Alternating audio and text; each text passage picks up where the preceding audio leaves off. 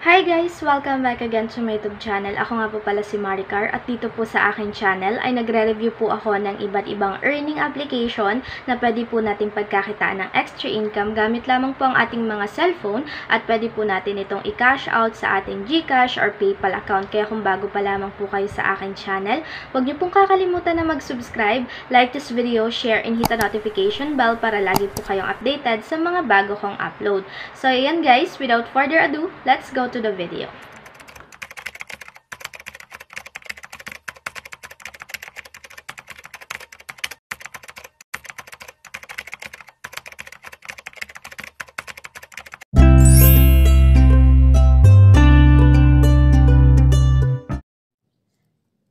Hi everyone! Welcome back again to my YouTube channel and for today's video para po sa mga viewers natin dyan na gustong kumita ng extra income ngayong February, ito nga po pala yung pwede kong ma-share sa inyo na isa sa mga legit earning app.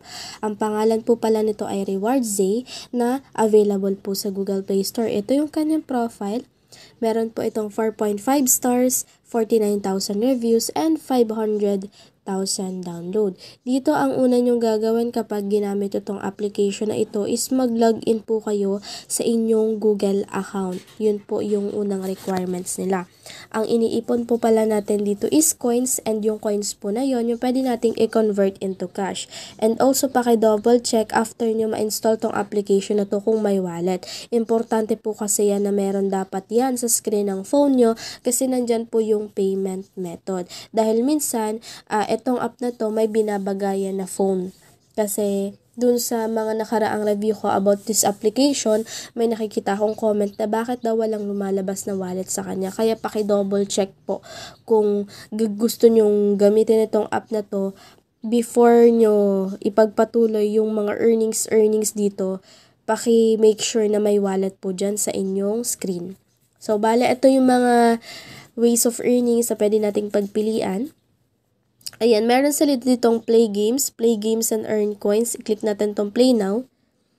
Click natin tong accept, activate now and permit usage access. Ito ay naglalaman po ng mga third-party application. Karamihan po ay game na pwede po natin gamitin and then yung earnings po is per minute. So kung tinatamad kang gamitin ang application na to at gusto mong kumita, since per minute naman po yung earnings, okay lamang po na kahit hindi po natin gamitin or laruin to, basta after po natin ma-download tong application, hayaan po natin na nakabukas siya at nakabukas din po yung ating data connection.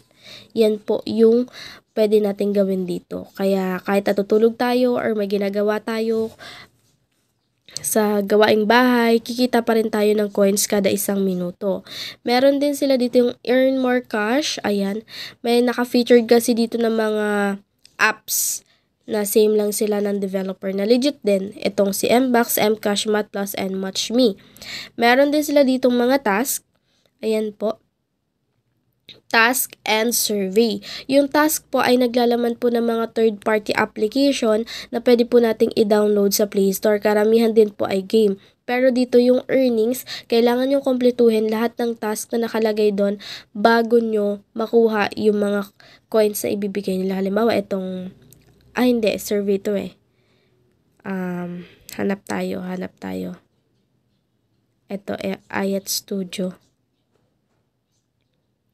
Sana meron. Ay, wala. Wala siya eh. Add gem. Ito. Ayan. Halimbawa, yung mga ganitong app. Yan. Ida-download nyo yan. Tapos, ito yung mga coins na marireceive nyo. Yan, complete task to earn po kasi yung earnings nila dito. Next naman, kapag survey naman po, ayan, may mga basic survey lang naman po ito, mga madadaling question na kung saan yung mga isasagot po natin is my option. Kaya pindot-pindot na lang po tayo ng mga gusto nating itano, isagot dun sa mga katanungan nila dito. Then after nung matapos yung survey, dun nyo pa lang po maka-receive yung mga coins. Then, pwede din kayong manood ng video advertisement dito, watch video videos and earn coins para makareceive nga po kayo ng coins. Yung ads is tumatagal ng 30 seconds. Pwede din po kayo mag-invite pero optional lang naman po yan, wala pong sarpilitan, makakapag-payout pa rin naman po tayo kahit wala tayong na-invite. Per friend, nagagamit ng ating referral link or referral Ayan, referral link talaga yung meron dito. Yun lang yung available, wala pong referral code. Magkakaroon po tayo syempre ng 10% commission sa mga ma-earn po natin, sa mga may invite po natin dito. Next, so bali yun lang. Yun lang yung mga dapat yung tatandaan dito na makakatulong sa inyo para madagdagan yung inyong coins. Click nyo na lang tong wallet pag mag-payout na kayo. Then, click nyo yung redeem coins. Dalawa yung payment method, GCash and PayPal po. Sa GCash po, kailangan ang ilagay nyo doon ay GCash number, then PayPal account. Ay, I mean, GCash name nyo po, pangalan at apelido, tapos number. Ito yung mga amount. Siyempre, kapag na-save na natin yung Gcash information natin, meron na po tayong makikita dito ng mga amount ng coins and kung magkano siya kapag kinonvert sa money. Merong 100 pesos, 150, 200, and 250. Maximum is 500. Dito guys, huwag kayong mag-expect na araw-araw pwede kayong kumita ng malaking amount ng money or makapag-payout kasi mabagal po talaga yung earnings nila dito. For extra income lang po ito, hindi po natin pwedeng iasa yung pang araw-araw natin na pangangailangan dito. Itong 100 pesos na to, kung gusto nyong uh, kitain yung 25,000 coins, aabutin kayo ng mga 1 month mahigit, Nakadepende pa po kung gano'n nyo siya kadalas gamitin. So, legit naman tong app para lang po ito sa mga viewers natin dyan na kahit mabagal po yung earnings is gustong kumita ng extra income. Ito po yung marirecommend ko sa inyo. And dito ko na tinatapos tong video na to and thank you for watching. うん。